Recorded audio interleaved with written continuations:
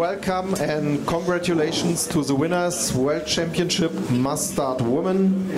Gold, Daria Domracheva, Belarus. Silver, Tora Berger, Norway. And bronze, Monika Hojnisz, Poland.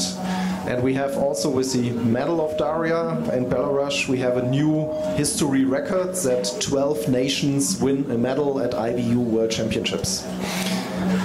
Daria, until today this was not really your World Championships, but does this World Championship title changes now everything?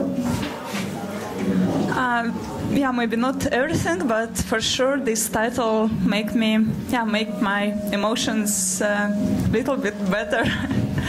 and for sure, yeah, I agree. And these days before was not my days, and I felt myself quite good, and I was in good shape, and I felt my, uh, myself also good on shooting range. But I was really unlucky first days here, and today, a few meters before finish line, finally was the word in my head.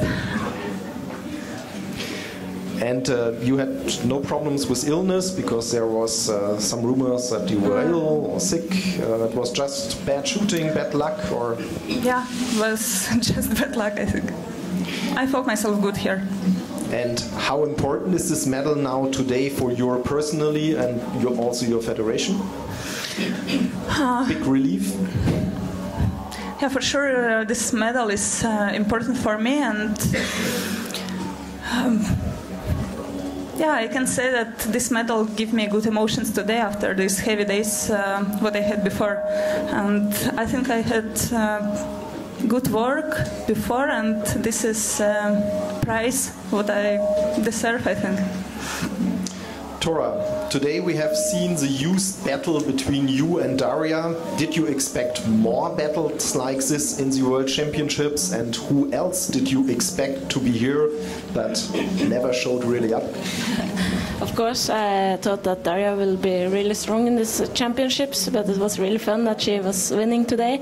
Uh, of course, I want the gold medal, but uh, today Daria was the strongest. Uh, um, yes, uh, I think uh, and um, Mäkäräinen also uh, should be strong in these championships, but it was somebody else who was yes strongest this time. So that was really fun.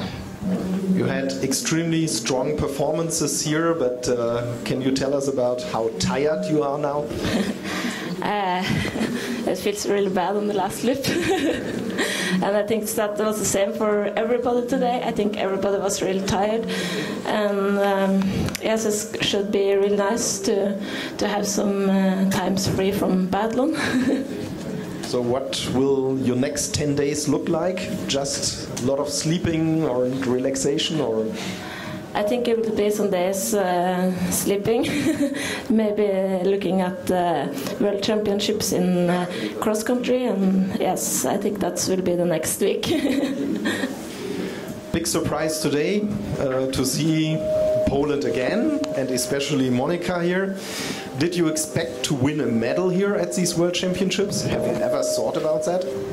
Of course not. I didn't expect. It's a big uh, surprise for me today.